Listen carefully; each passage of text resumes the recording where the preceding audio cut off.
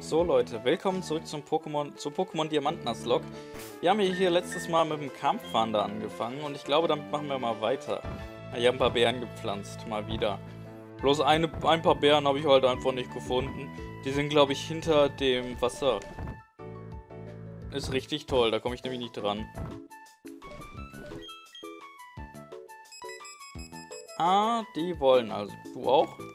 Wollte der auch? Ich weiß es gerade nicht. Ich soll jeden Morgen joggen, ist schon. Nee, gehe ich nicht. Und wenn ich zu mit, zusammen mit Ina kämpfe, sollten wir eigentlich nicht verlieren. Eigentlich. Eigentlich ist, äh, ist eine schöne Formulierung. Oh Gott, das war der Kampf mit Lunastein. Ich weiß noch, die waren unheimlich gefährlich. Ich weiß aber nicht mehr, welchen Typ sie hatten.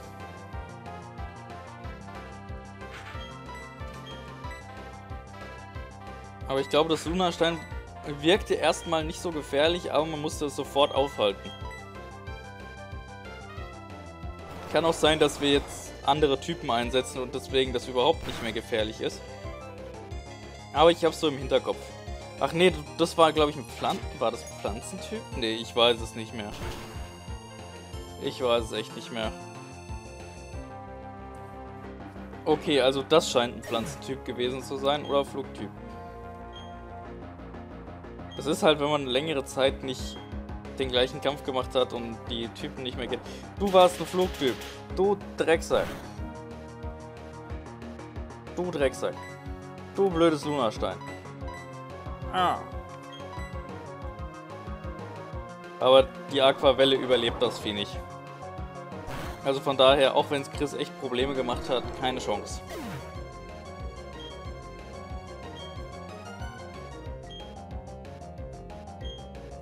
Ja, Freund kriegt hier die dicke Erfahrung. Nein. Doch. Ah. So. Ich möchte mal gucken, wie viel Chris eigentlich noch braucht. Oh Gott, der braucht auch noch so viel. Weil Chris ist ja auch schon fast Level 30. Also ich meine, er ist 28. Das ist fast Level 30, komm schon. So kulant sind wir. Dann nochmal zurück ins Pokémon Center. Könnte ich bei der Gelegenheit auch kurz mal hier umschalten? Ganz genau. Dann gucken wir nämlich mal, wie es den beiden geht. 22 und 23. Das sind schöne Level. Ich meine, wenn die noch so weitermachen, dann überholen die uns. Ich muss gerade noch im Auge kratzen. Es juckt irgendwie. Ich bin wahrscheinlich einfach zu früh aufgestanden heute Morgen. Uni und so. Aber jetzt habe ich ein bisschen Freizeit. Jetzt kann ich auch mal wieder ein bisschen was aufnehmen. Damit ihr hier auch mit Parts wieder versorgt werdet und die Ausfälle mal aufhören. Ist ja grauenhaft. Wenn hier permanent irgendwo ein Part ausfällt. Das lassen wir nicht auf uns sitzen. So. Will das Pikachu wieder kämpfen? Das hat doch ordentlich viele Pokémon. Können wir das vielleicht nochmal... Was, die, woll die wollen schon wieder? Das letzte Mal hast du uns auseinandergenommen, diesmal nicht. Ja, die wollen einfach nochmal. Die hatten bei einmal nicht genug. Bin mal gespannt, ob die jetzt schon wieder Level Up sind. Müssten sie ja eigentlich. Ne, sind immer noch Level 19. Ja, war jetzt auch sehr, sehr clever von mir, dass ich Chris nicht ausgetauscht habe. Dann setze ich das mal auf Schilderus ein und benutze jetzt mal den Eiszahn bei Lunastein. Dann haben wir nämlich das Vieh schon mal tot. Müssen wir uns darum keine Sorgen mehr machen. Und auf was ist ein Eis noch effektiv? Auf Flug. Okay, gut, dann... Dann ist jetzt immer noch selbe Konstellation, aber vielleicht reicht ja... Die Werte sind ja, glaube ich, nicht ganz so extrem hoch. Der Drachenpuls, um das Vieh zu zerlegen. Ich will's hoffen. Ja, reicht. Ich habe das gerade gehört. Das klang wie ein Ding. Woher kam das? Das habe ich mir nie eingebildet, oder? Das müsste im Systemsound sein. Oder es war aus meiner Nachbarwohnung und es war extrem laut, sodass ich es nur leise gehört habe. Sehr kurios. Soll ich hier bei Chris bleiben? Ich bleib bei Chris. Komm. Hallo, ich bin ein Pokémon. Das weißt du zwar schon, aber wir kämpfen jetzt noch einmal. Na gut, wie du möchtest. Ich meine, für uns ist das alles Training. Was, Job? Hatte die Sieglinde nicht mal mehr? Ich habe irgendwie im Hinterkopf gehabt, dass die Sieglinde ein paar Pokémon hatte. Ja gut, habe ich mir wohl eingebildet. Dann mache ich jetzt das Europe von der Sieglinde platt und dann... Dann gehen wir weiter.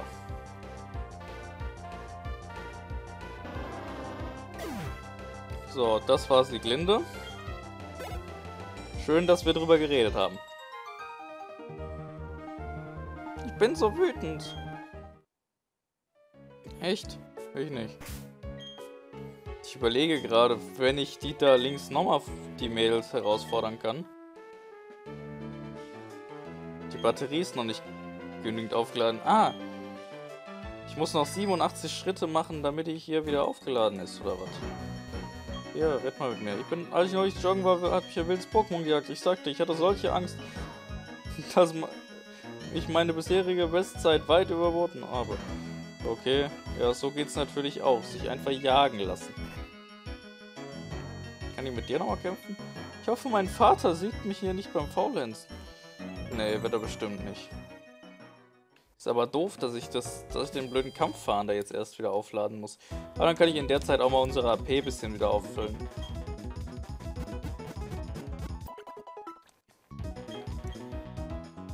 Ich mache das jetzt bis hier mit Beschleunigen, weil das Spiel ist lang genug und wir wollen hier nicht so viel Zeit verschwenden. könnte ja den Jogger da oben eigentlich kurz platt machen. Du willst nicht mit mir kämpfen. Willst du mich rollen? Solange es eine Straße gibt, werden wir weiterrennen. Wie sieht's denn mit euch beiden hier aus? Ho, ho, ho. Ihr zeigt ja schon, wie gut Doro nicht zusammenarbeiten. Wenn mein Pokémon bei mir ist, dann kann ich sogar ein bisschen faulenzen. Ja, die haben, die haben nicht den typischen Dialekt. Ihr habt auch gar nichts dazu gesagt. Euch interessiert es gar nicht. Mädel und Papa Doro und Max. Okay, die sehen tatsächlich gefährlich aus. Wart, das Download. Ja, das vierten Download habe ich jetzt gerade nicht aktiv. Ich sehe erstmal zu, dass, ja, dass ich verfehle. Was haltet ihr davon? Schlagbefehl. Ist das wie ein Käfer? Okay, ich muss sagen, vor Käfern habe ich relativ wenig Angst. Ist einfach so, ich weiß auch nicht warum. Käfer sind eigentlich saubrutal. Und ein Geist.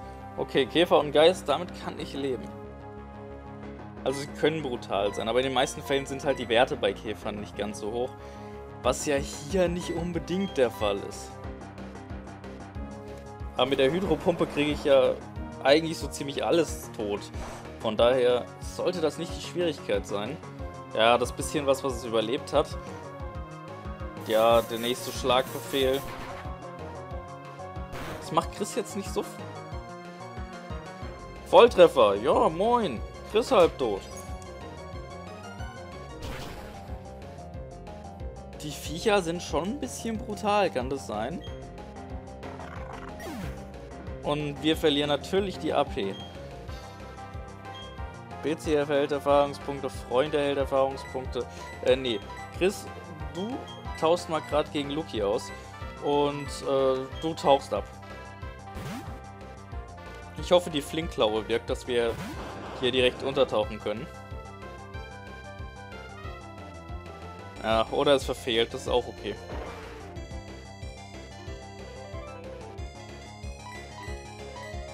So, du Mistvieh. Jetzt gibt's hier Feuer. Ne, jetzt gibt's erstmal Taucher. Erst die Wasserattacke und falls es überlebt, dann die Feuer. So, komm. Das war's. Ich habe immer so Angst, wenn die so extrem viel Schaden bei Chris machen. Ja, Chris kriegt aber dafür gute Erfahrungspunkte, also verhältnismäßig. Freund kriegt natürlich viel, viel mehr. Aber Freund braucht auch nicht mehr so viele. Selbst unsere vereinten Kräfte konnten dich nicht besiegen. Ja, nein. Ja, doch. Aber ich gehe jetzt wieder ins Pokémon Center. Ihr seid mir zu gefährlich. Ihr haut mich bloß. 23 und 24 sind die, wie ich sage euch, Buddy holt uns hier echt ein. Am Ende ist der Level 30 und wir haben immer noch nie alle fertig.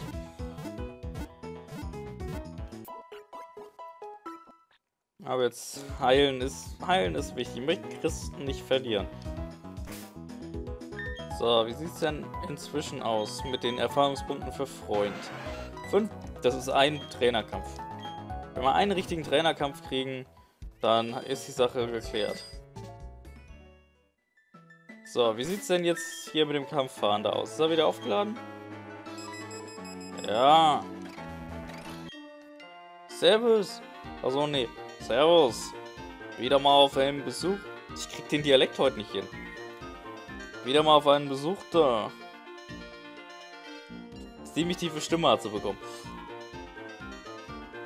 Welche Pokémon hast du diesmal dabei?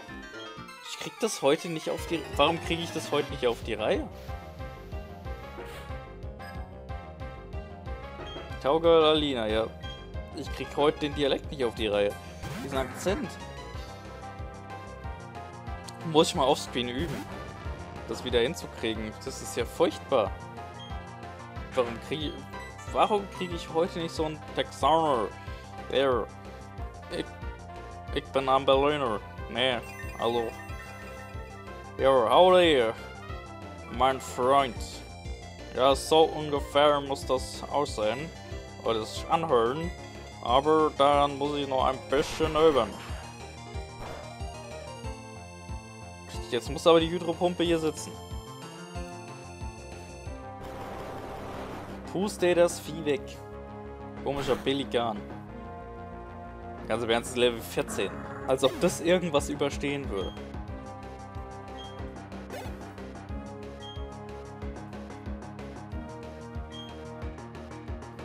Stollrak war... Weiß ich nicht mehr. Ich habe es echt nicht mehr im Kopf, was die einzelnen für Typen waren. Aber ich denke mal, mit der Hydropuppe kriegen wir eh alles klein. Vielleicht haben wir ja Glück und es war Feuer. Dann ist eh tot. Es war zumindest irgendwas, auf das Wasser sehr effektiv ist. Also es war vielleicht wirklich Feuer. Wir werden es, glaube ich, nie erfahren. Allerdings fällt mir auch gerade nichts ein, auf was Wasser noch effektiv ist. Außer auf Feuer. Ne, fällt mir gerade ernsthaft nicht ein. Gewaldro, weiß ich auch nicht mehr. Auch drauf. Ne, verdammt, uns gehen die AP aus. Oh, fällt... Also stimmt, Gestein, natürlich. Danke, dass du mich daran erinnern möchtest, Gewaldro. Danke, Gewaldro, dass du mich daran erinnert hast, dass ich austauschen wollte. Freund ist doch so eine Eisenverteidigung. Da soll sich Freund jetzt drum kümmern. Ja, muss ich wieder aufladen. Du kannst mich mal. Antikraft, ja hier. Zeig ihm gerade den Vogel. Das könnt ihr natürlich nicht sehen, weil ich keine Facecam habe. Aber ich habe ihm den Vogel gezeigt.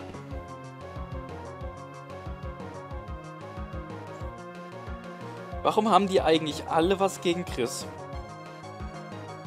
Ja, und Freund verfehlt noch. Was ist bei dir ein... Gewaldro, was ist bei dir eigentlich nicht richtig? Wurdest du während deiner Kindheit gemobbt oder so? Ja, muss ja. Oh. Jetzt, wo ich den kenne, würde ich es auch tun. Ich benutze Megasager, auch wenn es nicht so viel Schaden macht. Es ist halt sehr effektiv und wir müssen HP regenerieren. Sonst haut uns das Vieh mit dem Felswerfer um.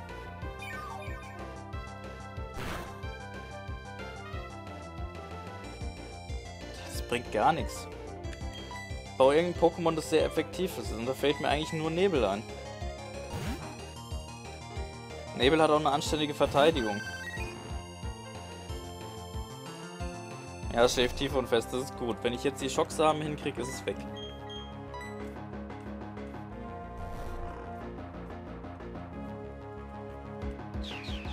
Gewaltrohr aus der Hölle, Leute. Löscht ihr unser Team halb aus. Aber ein HP bei Chris. Ich habe schon gedacht, jetzt, jetzt vorbei. Mir ist das Herz bis zum Hals hochgeschlagen. Aber immerhin haben wir Freund jetzt. Es hört auch nicht auf, ne? Es hört niemals auf. Und auch ein Steinhagel. Sag mal, hat die nur Gesteintypen dabei oder was? Nee, ja. Bin ja sehr froh, dass Chris hier regelmäßig Supertränke findet. Die kommen jetzt nämlich gleich zum Einsatz.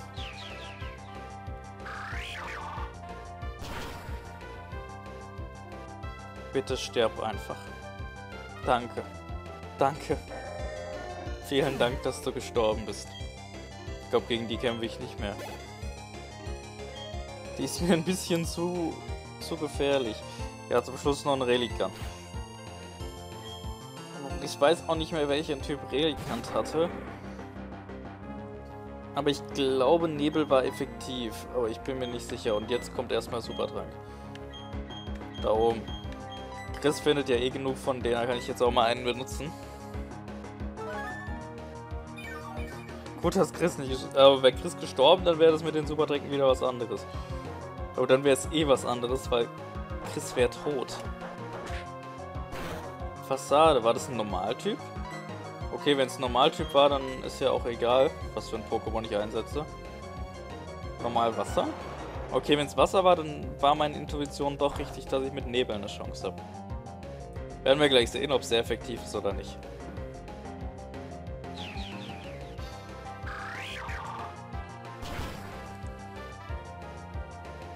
Ja. Das war sehr effektiv. Sehr schön. Na gut, bei Level 15 jetzt nicht unbedingt sehr effektiv sein müssen, aber es war sehr effektiv. Es scheint extravagante Leute wie du haben auch ein extravaganter Pokémon. Ja, jetzt bin ich wieder so ein bisschen drin. Hey, Freund entwickelt sich, endlich. Nachdem er jetzt fast ins Gras gebissen hat, kann er sich jetzt auch entwickeln. Oder sie. Er, sie, es.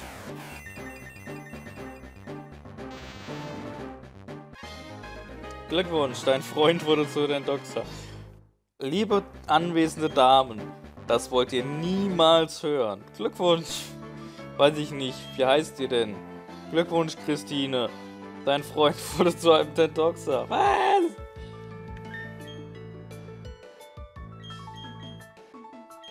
So. Pflanze ist er immer noch nur. Feuchtigkeit verhindert Selbstzerstörung der Kämpfenden. Okay. Äh, wie sieht es von den Werten aus? Angriff. Angriff ist unheimlich hoch. Wir haben keinen einzigen... Wir haben keinen physischen Angriff. Ich muss dem Vieh mal einen physischen Angriff verpassen. Haben wir jetzt zufällig eine passende Pflanzen... Wofür steht denn das? Er erhöht den. Das N ist natürlich nach links gerückt. Nachspiel, Mondschein, Bodycheck. Ja, wir bringen Bodycheck bei. Chinese hat aber auch keine tollen Attacken. Ich könnte ihm Stärke beibringen. Ich meine, Stärke ist jetzt nicht so schlimm. Hat, glaube ich, eine Stärke von 60. Aber Freund ist natürlich der, der Einzige, der es nicht lernen kann. Ne, mit euch will ich mich nicht anlegen. Ich bin so schon halb tot. Ne, Leute. Ihr lasst mir jetzt erstmal einen Kommentar da. Da würde ich mich nämlich tierisch drüber freuen. Und ansonsten sage ich Tschüss und äh, tatsächlich bis zum nächsten Mal, wenn es hier weitergeht mit Pokémon Diamant. Die Nuzlocke hoffentlich ohne Tote und äh, ich muss dran denken, den EP-Zeiler von Freund abzunehmen. Also, bis dann. Na komm, euer Wolf.